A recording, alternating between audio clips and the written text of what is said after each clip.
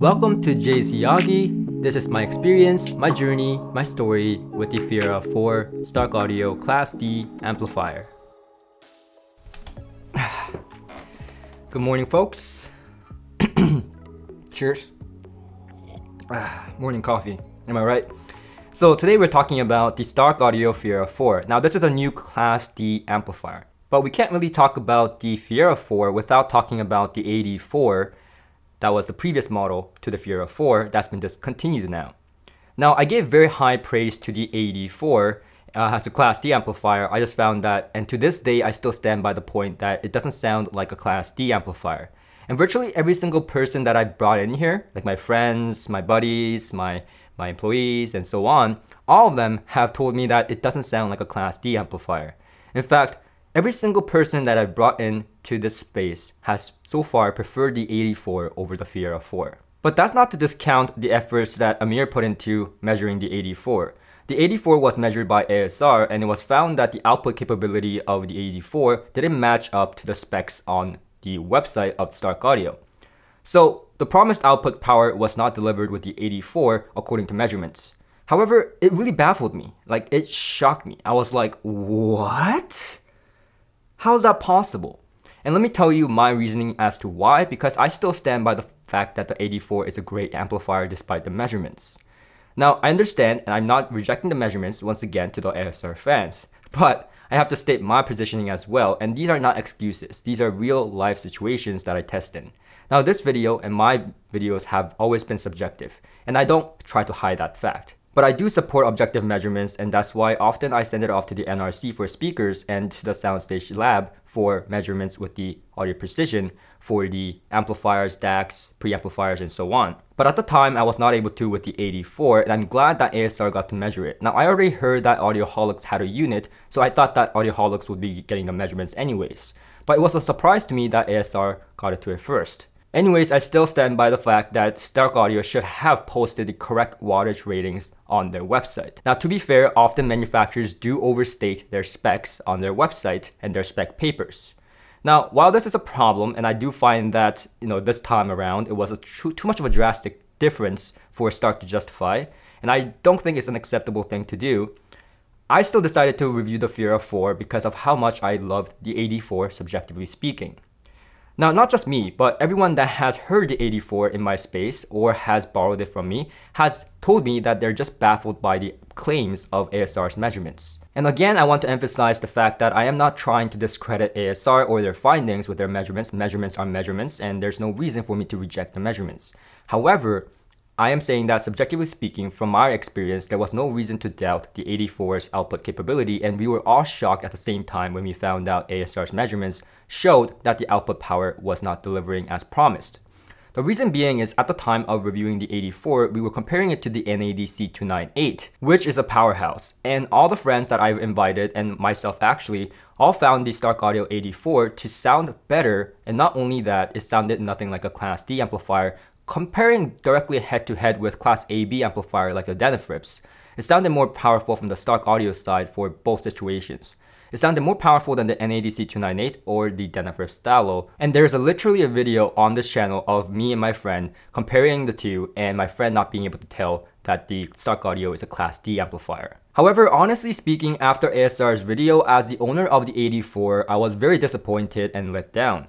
I debated on returning the unit, but I decided to keep it anyways because after a long debate, I still subjectively like it and I, every time I plug it in, I like it better than even the Fiera 4 or my NAD C298 Class D amplifiers. In fact, the AD4 is one of the two Class D amplifiers that I've ever heard that is not sounding like a Class D amplifier to my ears. Now this time around, I connected Starke Audio to Soundstage Labs to make sure that it was measured before it came my way.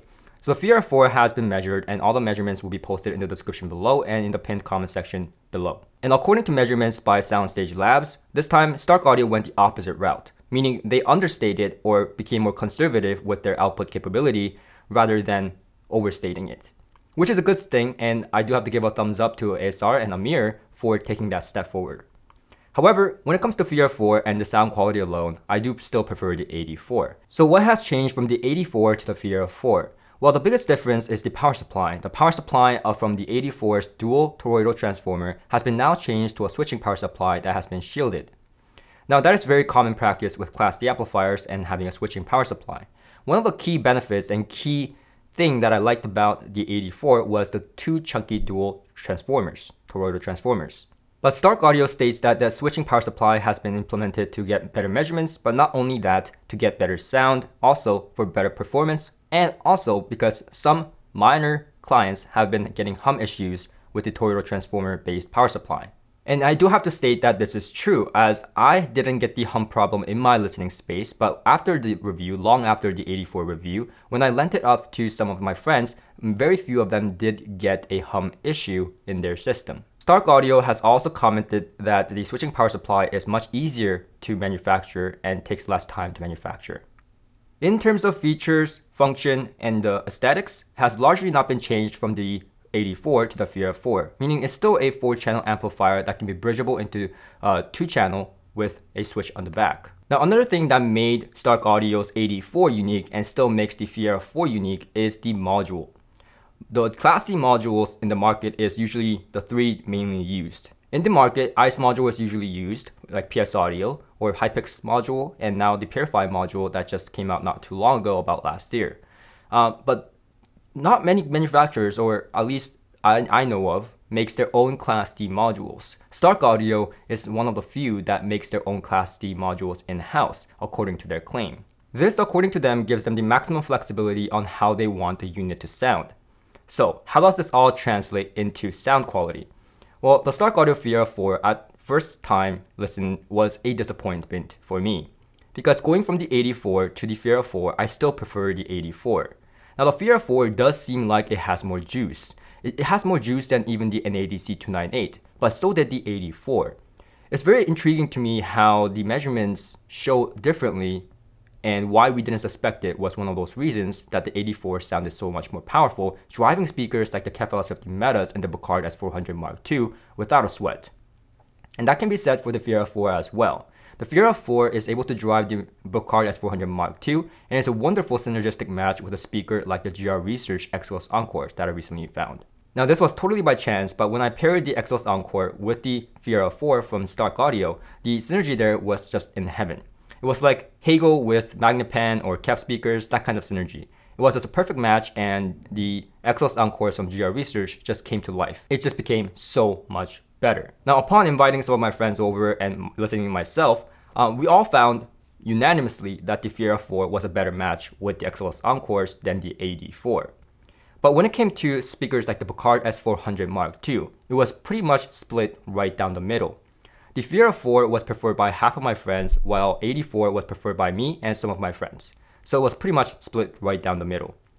While I prefer the more warmer characteristic of the AD4 and the more overall natural tone, I found that the Fiera 4 was more extended and gave a more of a reference sound. However, I still wouldn't categorize the Fiera 4 as a totally neutral Class D amplifier. It still has a sound, and that sound is a slightly V-shaped sound, meaning it has a little bit more bass emphasis and a little bit of treble emphasis. It can get tad bright with certain recordings with certain pairs of speakers that's known to be bright. However, pairing it with speakers like Buchardt or GR Research X-LS Encore that is not known to be bright, the pairing just opens up the speakers and takes it even further. Overall, Fiera 4's sound quality is pretty balanced with a slight bit of emphasis in the bass and the high frequency to allow for a little bit more of a uh, exciting sound. However, the dynamics are great, everything is great, but I feel like the soundstage depth and the musicality is still to my pre preference with the AD4. The AD4 provides something that the Fiera 4 just doesn't, and that is musicality and emotion and depth in soundstage and width in soundstage compared to the Fiera 4. And that goes same to the NADC 298. The NADC 298 is a great Class D amplifier and I get daily usage out of it just like with my AD4. However, AD4, I choose it every single time for music. The NADC 298 is more balanced and a more reference sound that is more analytical. And that allows me to assess my speakers very much easily and it's more of a tool for me because it's so balanced and it doesn't really have a color of its own. And I'll link to my review of the NADC 298 in the link description below for you to check out because my experience with that amplifier has been nothing short of excellent. However, it's for different purpose, purposes. Just like how you get a tube amplifier for that tube sound, the AD4 is entirely different in terms of its musicality to the NADC298 or the Fiera 4. Now the Fiera 4 is more on the categorization of the NADC298 rather than the AD4. In terms of musicality, I still prefer the AD4 or tube amplifiers and such.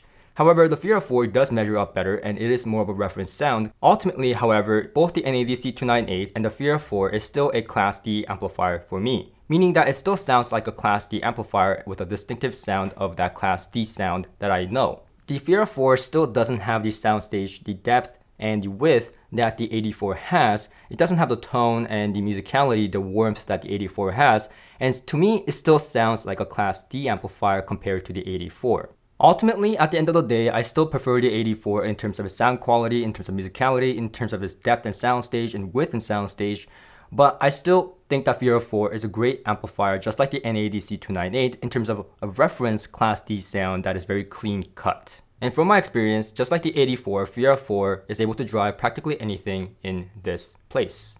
So that's pretty much it from me. Thank you for watching and listening to my journey. Now, whether you believe Starke Audio as a company, whether you trust them enough anymore, that's entirely up to you, whether you give them a second chance or not. But I do feel like they are trying to make it better or trying to make it up with the Fiera 4. They have, they have been more open, but they have always been open to measurements. Uh, I do want to state that fact. I don't think they were really purposely hiding anything because they had a unit with Audioholics and they were open to measurements at the time.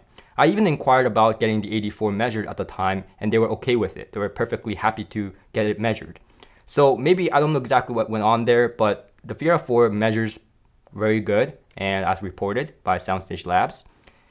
And I think they're trying to make it right and trying to be more transparent with their claims of output power and specs. Again, Entirely up to you on whether you give them a second chance or not. But for me, I decided to give them a second chance because the AD4, again, is one of two amplifiers that I've ever heard that doesn't sound like a Class D amplifier. And virtually everyone that comes in here that hears the AD4 is very happy with it, very satisfied with it, and even prefers it over the Fiera 4 in a lot of cases, like I said in this video.